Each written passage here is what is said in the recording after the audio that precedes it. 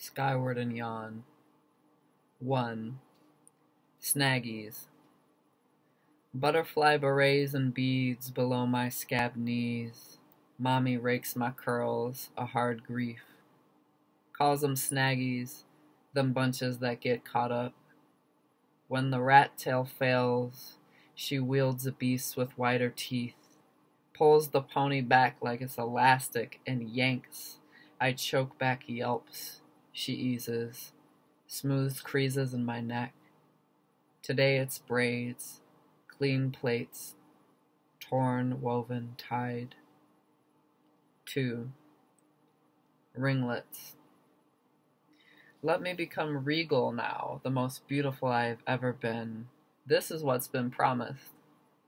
Miss Pamela tells me, relax with a cool menthol lilt, tilts my neck back to section woolen hair, Paste the thick magic salve which stings like rejection, or a clump of hot grits hopped from pot to cheekbone, peeled grapefruit and nails bit too low. You'll get used to it, baby, that flame. Soon my whole crown is snow white slick with it. I try not to squirm, scream, shudder. I swear I hear the shit crackle. Out the dryer, I'm all straight all scalp, all flakes, crusted blood, scarred, marred to its roots.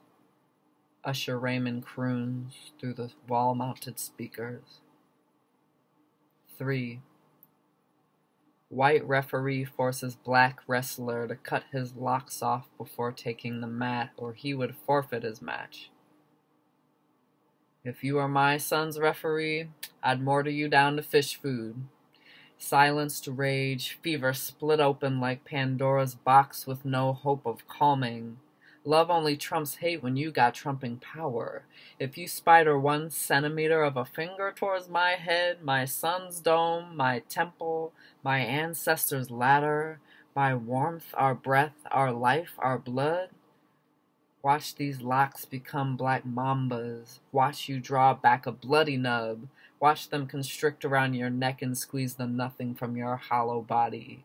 But of course, of course I speak hyperbole. What good am I to my son from prison? You think I don't know how that boy's mother had to smother that magma, had to twist the neck of dish towels, had to paste linoleum and scream into her patchwork quilts? We've all had to bite back bile, knowing damn well we'd feel better to let it spew and burn. 4. Inquiry. They always think it's innocuous the question, Is that all your hair? Maybe it is innocuous, but it's only them that ask. I imagine my hair store bought, since I imagine that's likely what they want to hear from such an exchange. But I stare at the inquirer and say nothing. He floods crawfish. The only time these locks wasn't mine was lovers grind and grip on all this mine, pulling hard on all this mine, so far inside, I surrender the snatched hair all to her, amen. 5. In her hands I'm made. Babe, will you make me handsome? My request glints as lips part ways to birth a corny ass smile. Bedroom almond eyes survey the perimeter of a frizzy dome. She webs out a copper hand, smooths electrified hair, says, You know you already handsome. Later, between her softened knees, she reaches ceremoniously into honey lime tub of butter, warming balm, her fingertips pinch the base of one lock, shim shimmying her many red palms along its length. Take off your glasses. I pull them from my face. Crisp edges blur to vague outlines and let my eyes come close. No need for sight in the presence of God. 6. Pan African Festival, Mosswood Park. Head wrap hoodoo here holds locks skyward and yawn. Hair buzzed tight, nurtured lawns fluorescent cyan and fuchsia sewn in against jet black tapestry.